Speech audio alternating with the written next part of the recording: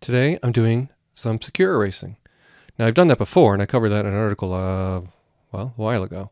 But you'll see this system is rather versatile where on a Supermicro Super Server ZND mini tower, you can jam a lot of drives in there. Now today I've got a combination of NVMe drives and 2.5 inch drives that I'll be uh, nuking all at once. So I do have this old video. I don't have anything showing an NVMe drive. Those are all SATA devices. So I'm using a newer version of Parted Magic Secure Erase. Now to get started, if you have a bundle um, or your machine is in UEFI BIOS mode, which is how the bundles are shipped, that's good for VMware or Hyper-V or modern OSs. Not so good though because we're about to boot an old ISO.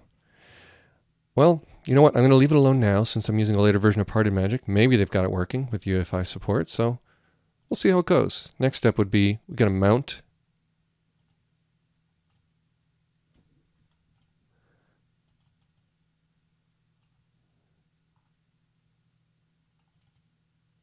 Uh, whoops, sorry. C drive. Mount the ISO. Looks like it's April 26th, so not terribly new, but that's what I bought and licensed. I can't remember the price off the top of my head, but uh, it used to be free, not anymore. All right. Discard changes. I didn't make any changes in my BIOS, just going to reboot. So now I need to be pay careful attention. Oops. Interesting. Okay, I'm forcing a reboot now. Don't really want to boot off of VMware there. Uh, but yeah, like I said, I have several data stores. I'm ready to evacuate them. There's some expired license keys and uh, VMFS data store, and I might be trying vSphere 6.5 beta. So I also had vSAN drives, which are actually hard to clean up. So Secure Erase is a nice handy way to re restore that factory fresh performance uh, for many cases, especially old SSDs. But in this case, just give me a way to nuke all partitions on drives, even if they're M.2 NVMe drives or PCIe based NVMe drives like Intel 750s. So hopefully whatever you got, you don't need to learn the brand, uh, Samsung or Intel or Care. With this boot media, the nice thing is it should be able to nuke multiple vendors' products. So I hit F11 for the boot menu, and okay, another Supermicro problem. Let me just show you what that is. Quickly, hotkey settings. Uh, okay, F11, we got a remap. Start. Let's call it F12 instead. Stop. And assign and close.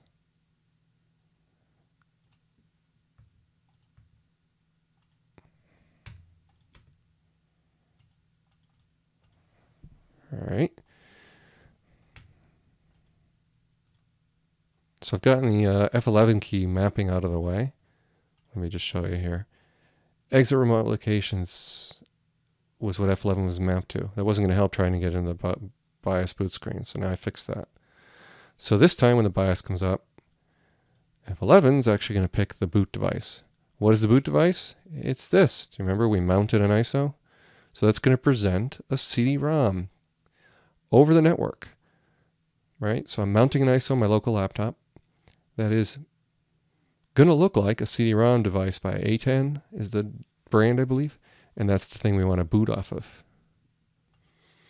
Okay, so now I hit F11.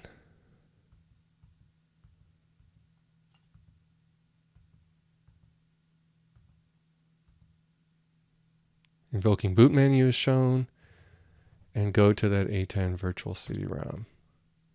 So now I'll find out if this 64-bit Linux boots without incident in a UEFI environment. I can wait 12 more seconds or I can just hit enter key and get going. So the boot is starting. All right, a few things to point out here while this is booting. One, you'll often get locked devices. What does it mean? Well, do you remember that little picture I showed you? Where I've got the machine kind of naked here. I didn't bother with caddies. I was just trying to mass wipe a bunch of drives. Some of them were actually borrowed. So it was handy because while the machine's powered on and this Linux is booted, you can pull it out of the SATA and plug it back in. So this is a hot swap caddy. And these drives are so lightweight, they didn't even need caddies for support there. Just shove them in the um, SATA uh, connector. That's with the backplane. How about up here, a drive that's kind of screwed in place in a mounting plate? Well, you can just pull out uh, um, power, just like a laptop would happen, remove the signal cable. Actually, removing the SATA cable, I believe, works uh, also. And um, a little harder on something like a Samsung 950, this PCI device you're seeing here, where you wouldn't want to hot swap that. Uh, but I didn't need to. Um, I believe I was able to wipe that fine. It didn't show up as a locked device. That was borrowed. So this picture's kind of old and it shows parted magic sticking out the front on a USB key. Today we're doing it over the wire. Uh, you can still do it that way just fine, uh, either way. Same effect, you end up with a, a Linux booted here. It is actually a little faster when it's booted off of local USB. All right, hopefully we'll have this operating system here sort shortly, and we do. Don't really care too much about time zone.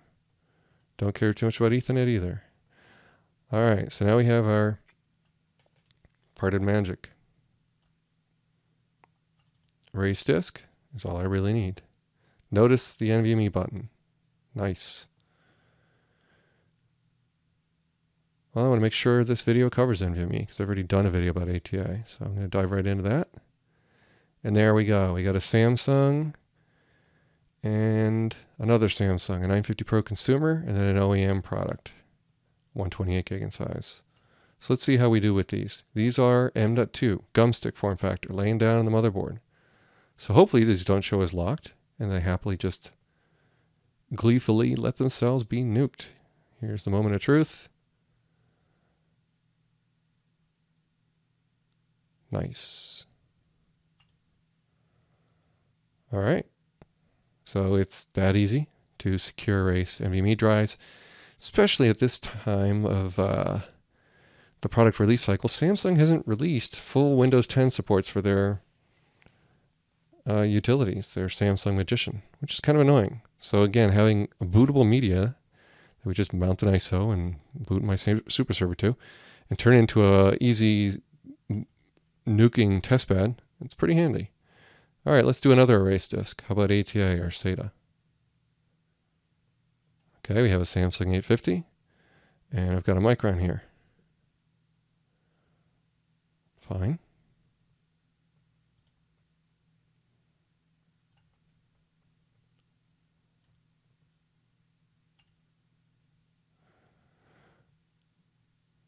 Okay, now it didn't say the drives are locked. If it did, you can click the sleep button and try to make the system go to sleep. But notice it says it is not supported this particular machine. That's why I was telling you about if you encounter the sleep button being needed, you would simply eject the drives and then shove them back in.